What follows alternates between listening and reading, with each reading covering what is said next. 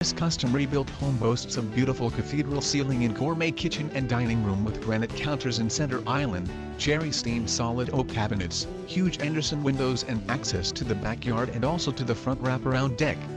The big living room has gorgeous hardwood floors and brickwood fireplace.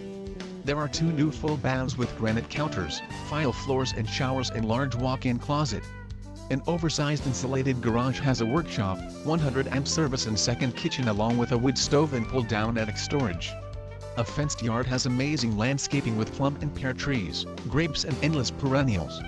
The wraparound covered porch has a cedar ceiling. This home has a newer roof, hot water heater, furnace, custom doors and windows and more.